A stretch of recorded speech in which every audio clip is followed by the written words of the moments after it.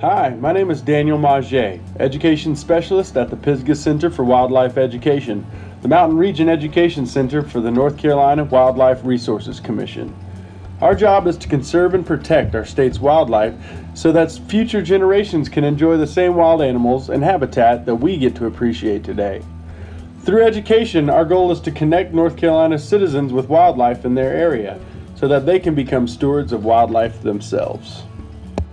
One of the ways we create wildlife stewards at the Pisgah Center is through fly fishing. We are fortunate enough to be located on the Davidson River, one of the state's premier trout fishing streams. You see, trout must have cold, clean water to survive. And when an angler enjoys catching a fish, they're going to want to protect the habitat that that fish depends upon, like a mountain stream.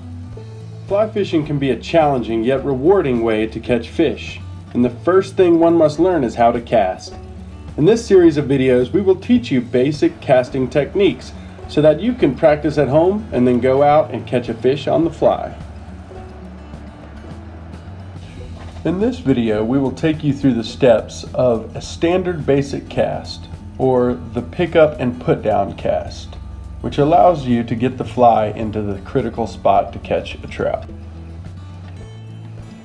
This cast begins and ends with the fly rod pointing at the fly on the water. When casting in general, it is important to keep your rod within the correct range of cast.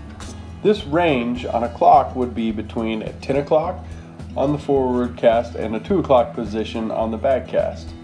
It is important that the angler doesn't use too much wrist or arm when casting.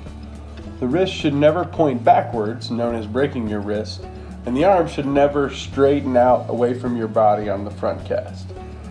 The stop and start point ensure the rod itself stores and releases the energy, called loading, instead of the angler's arm, which will get tired more quickly.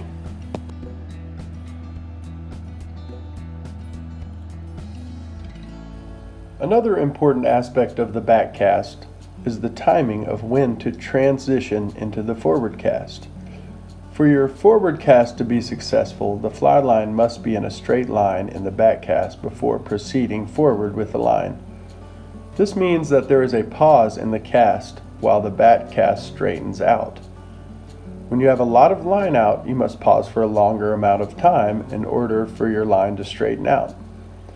If you start moving forward too soon, then you will hear a popping sound like a whip, and your forward cast will lose energy and won't be effective. Your fly will probably break off your line as well. If you wait too long, then your line will start falling behind you and will cause your forward cast to pile up on the river instead of landing in a nice straight line. It's all about timing. Once the line has straightened out behind you, Begin moving the rod in a forward position with your arm until the rod has reached the 2 o'clock position.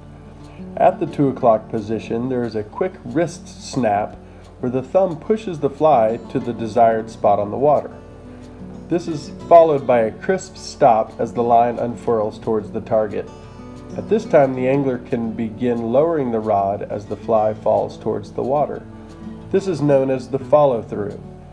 Keep the rod pointing at the fly until either the drift is finished or you have caught a fish.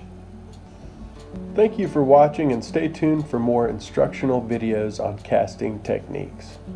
For more information about fly fishing classes at the Pisgah Center for Wildlife Education, visit our program calendar at the website below. Thank you.